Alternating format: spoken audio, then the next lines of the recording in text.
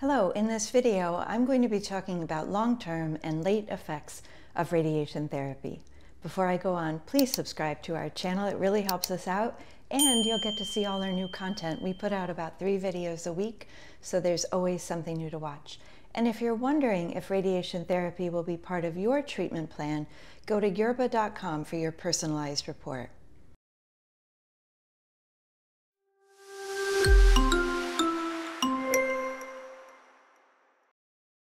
So just briefly, I'll talk about what radiation therapy is and who gets it. Radiation therapy is high energy delivered to a particular part of the body. Unlike chemotherapy, targeted therapy, and hormonal therapy, it doesn't go through your whole system. Radiation therapy planning is very specific so that the field of radiation therapy is very carefully carved out, not literally carved out, but designed to affect just a specific area. We give radiation therapy after breast cancer surgery if people have had breast conserving surgery or lumpectomy to treat the rest of the breast and decrease the risk of the cancer coming back in the breast. We will treat people who have positive lymph nodes or a larger tumor who've had a mastectomy and we'll treat we'll do comprehensive radiation therapy which includes more of the lymph node areas that drain the breast in hopes of decreasing the risk of the cancer coming back and in people with advanced disease, we use radiation therapy to treat areas where the cancer has spread to decrease or prevent symptoms from the cancer having spread. Radiation therapy, as I mentioned, uses high energy, and in doing so, it can cause both short-term and long-term problems. We've covered short-term, in particular pain, in another video, and you might want to check that one out. In terms of long-term effects or effects that occurred down the road, even many years after treatment, after somebody, you know, may even have put this in the rearview mirror, radiation therapy can affect other tissues in the body. So I'll go through a few of those. Because radiation is a wave of energy given to the body, it can affect other tissues in the area, like the heart and the lung. In people with left-sided breast cancer, where the heart in most people is on the left side of the body, the heart is particularly vulnerable. And because the breast is sits over the lungs or in front of the lungs, depending on how you're positioned, radiation therapy can also cause some problems with the lungs. In general, late effects of radiation therapy are not inflammatory but more fibrotic.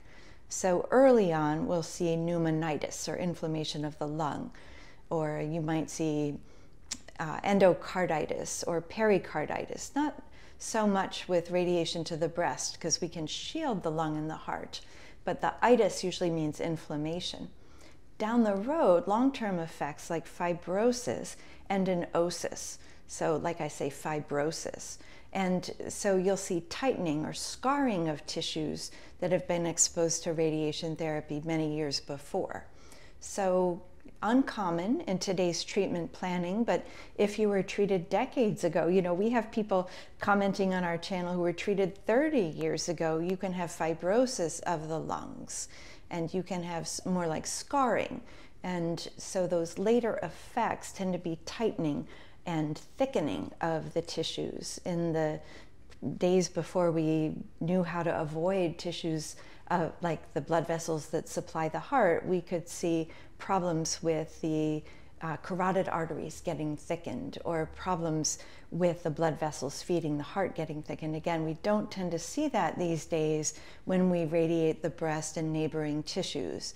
It's part of the consent form, it's part of what you're told could happen, but the risk is exceptionally low with current radiation planning techniques.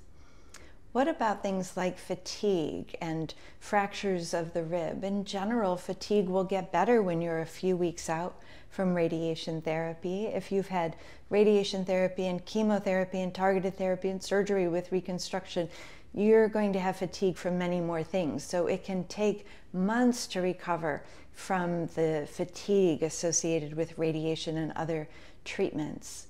In terms of problems with the bone, radiation therapy, if the bone is included in the field, can cause osteoporosis. So, in other parts of the body, if we radiate the spine, for example, because there's cancer in the spine, you can see bone thinning because of the radiation. In people with bone involvement from cancer, most of those people are on bone strengtheners, which will counteract the effects of radiation therapy on the bone. So, in somebody who's has metastatic disease to the bone and needs radiation, it's very often the case, or usually the case, that they will also be put on a bone strengthener that can reduce the risk or even reverse thinning of the bone. There are cancers that can occur from radiation therapy. It's ironic, isn't it, that we're using cancer to prevent or treat cancer from coming back, and then we can also see cancers caused by radiation therapy. Now, these are quite rare, but as we've said before, when it's you, it doesn't matter if it's rare or not, it happened in you, so it happened in all of you. And the cancers that we tend to see occurring down the road are sarcomas. These are tumors of the supporting tissues. So in the breast, we can rarely see something called angiosarcoma. That's a sarcoma of the blood vessels. You may have never heard of these, and that's because it's quite rare.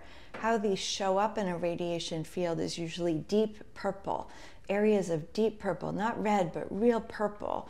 And these are treatable, but obviously these are rare, and so it makes it harder for us to say this is the best way to treat this. Most people who take care of people with breast cancer have seen fewer than five angiosarcomas in their entire career unless they specialize in angiosarcomas. If people have radiation therapy to the pelvis or the abdominal area, we can occasionally see soft tissue sarcomas.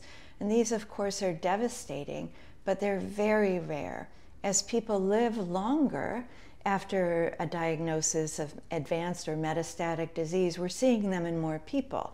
So people used to, after a diagnosis of advanced or metastatic cancer, die within one to two years.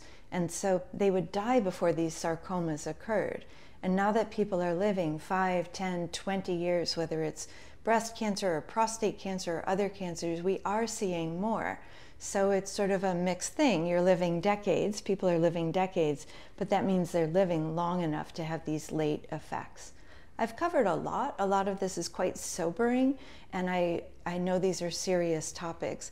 We at Yerbba believe that high quality information is one of the best tools you have in your toolbox. To that end, if you want to get your personalized report, you can go to yerbba.com where we do put out content about long term and late effects and how to manage them. So, subscribe to our channel, drop a comment or question below. We get back to you within a week or two. And thank you, as always, for watching.